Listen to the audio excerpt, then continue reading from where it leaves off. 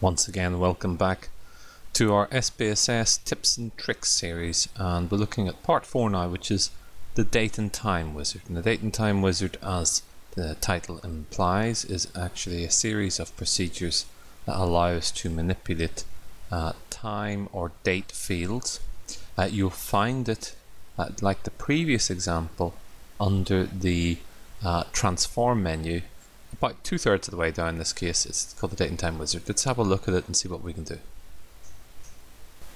Okay, so we've read in a sample data file here in the SPSS version 24 and the file contains a number of different uh, date fields in there in various formats. If we want to get started and have a look at the date and time wizard and how it relates and what things we can do to this particular data set, of course as I saw earlier on, we go to transform uh, about two thirds of the way down into date and time wizard we call up. And the very first thing it says is, what would you like to do? It says, and the example is learn how dates and times are represented in SPSS statistics. So let's have a little look at that. And it says they are numeric variables with special display formats that you can change. The numeric value of a date or time is the number of seconds since midnight October 14th 1582. So this is an auspicious date because, of course, it's the point at which um, Gregorian time is introduced. Most systems do pick a reference date, whether it be the first of the first 1900 or the first of the first 1960. In the case of SPSS, it simply goes back as far as it can possibly can within reason. It goes back to the introduction of Gregorian time.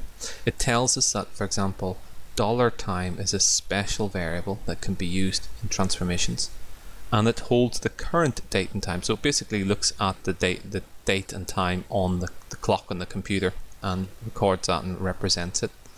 And it also says you can extract portions of a date, such as the year or the hour, and create dates from calendar units and so on. So, so that's quite useful. But let's focus a little bit on this business of it's the number of seconds since midnight, October 14th, 1582. And to prove that, I've got a true date field here, which is people's uh, date of birth for each of these employees within this organization. If I double click on that, I can change it from a date field to a numeric field.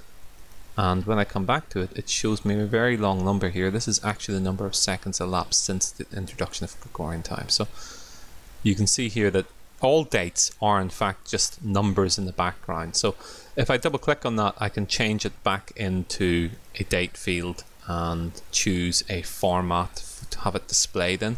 So I have a lot of different formats I can use. I'll just choose the top one because that's the way it was originally. Click OK. We come back and it's displayed correctly again. Okay, so what about another example? Another example here we have something called bdate string. And this is in fact just a string field, it's a character string. It's not unusual to read in data from a third party for a third party system to export a date field in a format like a string, which unfortunately means that you can't really treat it as a true date field within systems like SPSS unless you somehow manage to tell SPSS that this is a string field. So to do so, if I go to transform again, date and time wizard, um, the first option beneath the, the top item here is create a date or time variable from a string containing a date or time. So we can do that very simply. I tell it that birth B date string is is is uh, the one I'm interested in here. I can see the pattern that it represents is the DD month month YY year year, and I can say this is the example I want. This is how I want it represented. Um, and if I hit next at this point, I can say okay, well, uh, let's just give it a name. So I'll call it true date one because we're going to do more in one of these and hit finish at that point. And if I look along the end here, Sure enough, here we have that same field, but it's um, the true date one. It's actually this uh, birth date string that's been converted into a true uh, numeric date field for us. So that's our uh, uh our first example of manipulating a date field using the date and time wizard. Let's go to transform again and see what else we can do. So the next example is creating a date or time variable from variables holding parts of dates or times. So you can see here in the background I have three fields which are actually three separate time fields or date fields. One is the day of the month, one is the month of the year, and the third is the year itself.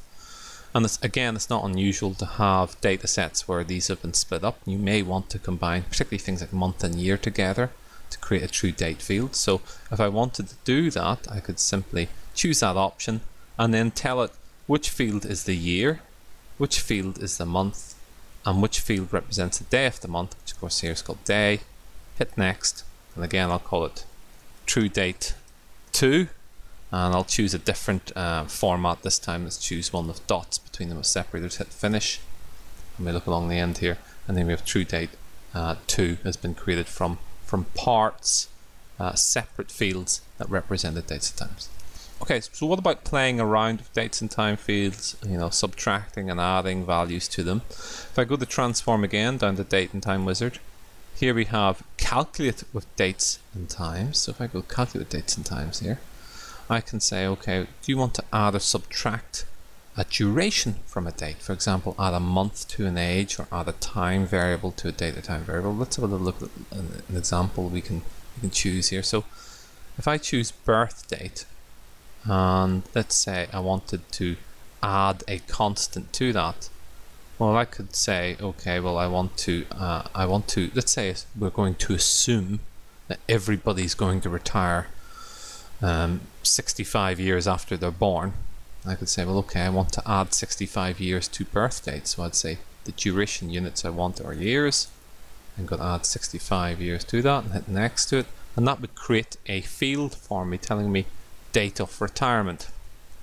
So it's a way for me to add a constant to a date. So date of retirement is what I'm typing in here and hit finish. And it creates a new field for me showing me the date that these people would retire on assuming that they all retired exactly on, on their 65th birthday so to speak. So that's a little a little example of manipulating and playing around doing calculation of date. What about going back to date and time here and then looking at the other option here with calculating dates and times like that um, you can calculate the number of time units between two dates. So we can say, well, how old are these people today, assuming they're still alive? And here we can take the dollar time field and take away from that their birth date and return the value to us in a, in a unit that makes sense. Well, years make sense, so that's what we want to do. And we can truncate to integer so that it actually rounds it down or it actually truncates it down to uh, a, a, whole number so it doesn't have decimal places. And then we can create a new field and say age today. And say these are the age of the people today, assuming they're still alive. Hit finish that point, and it creates a new field for us showing what their age is today.